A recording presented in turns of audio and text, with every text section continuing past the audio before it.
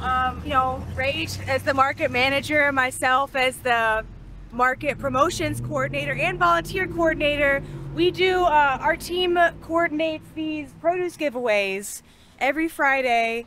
Um, and we, you know, just like at the market, where we provide fresh produce and get the support from different black farmers and gardeners in the area that bring it out and either sell it very affordably or give it away for free because there's such a need in this place that, you know, it's more than a food desert, but Chairman Omali Yeshitela calls it a power desert. And so this, I love this movement because it's led by the black community to reclaim power over their lives, to bring real justice and I'm honored to be a part of it. You know, white people need to get behind this um, and make sure that everyone has access to food because that is that is life. So this is the Gary Brooks Black Power Community Garden. We keep it up in honor of Mr. Gary. That's a mural of him right there. He uh, established a garden on this land and uh, fought to keep it up for two years, tried to get the land from the LRA and wasn't successful. The African People's Education and Defense Fund was able to get the land and we put this garden here in his honor and we keep it up in his honor and it was put together under his leadership. So for the past three years we've been growing food and last year we grew a thousand pounds of food and gave it away to the community for free.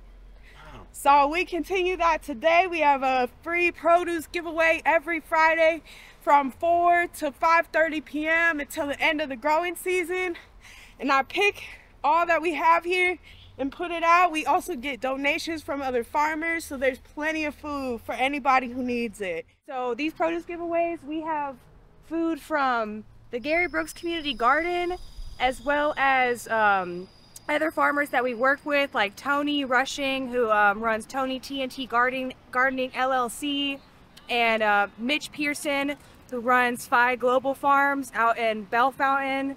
Um, and then, you know, we also like to help out at the produce giveaways led by Leah with Growing Food, Growing People, and Julia Thompson from Julia's Farm STL.